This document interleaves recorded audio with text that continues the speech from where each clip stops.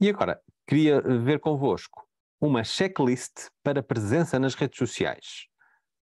Então temos aqui o site de navegação em cima, provavelmente quando passamos para a versão mobile vai ficar aquilo que se chama menu hambúrguer, que são estes três tracinhos, ok? E abre o menu lateral, como, nos, como acontece nas apps. Se estão, não estão a investir em anúncios, vão ter reações de pessoas que não são seguidoras, podem convidá-las e é eficaz.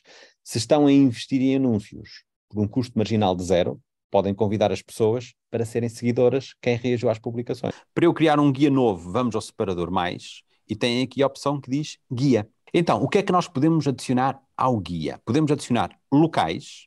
Então, eu ia criar este público e depois ia criar uma campanha de leads para captar, e esta campanha de leads só ia aparecer a quem viu mais 25% do vídeo. Há um outro tipo de conteúdos que podemos publicar. Reparem que neste canal de testes eu só posso carregar vídeos e fazer transmissões em direto. Eu posso fazer transmissões porque já validei o canal por SMS, senão nem isso conseguiria fazer. A possibilidade de nós vermos se os concorrentes estão a fazer anúncios no LinkedIn.